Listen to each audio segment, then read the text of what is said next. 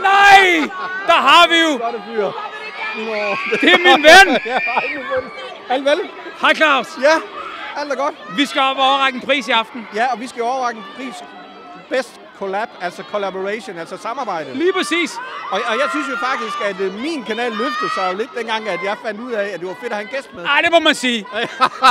Det må man sige. Så skete der noget. Det må man sige. Og så er jeg glad for, at øh, vi lige ringede sammen øh, i eftermiddag og, og koordineret. Åh, oh, du har så flot tøj på. Nej, men du har også så flot tøj på. Vi ligner to overtjenere, Ja, er øh, som er klar til at betjene bord 4. Lige præcis. Lige Men prøv lige en gang her, Claus. Øh, øh, du burde jo være på tavlen. Jo, men altså, øh, jeg har jo også været på tavlen. Jeg synes, det er dejligt at bare få lov til at komme og overrække en pris. Men, men, men er du det, der hedder YouTuber? Jeg er både Facebook og YouTuber. Jeg har jo lavet også rigtig mange øh, ting på YouTube. Ja. Men det er sådan lidt Men er du YouTuber, ligesom, ligesom kategorien af mennesker, der vælter her på den røde løber? Sådan rigtig YouTube.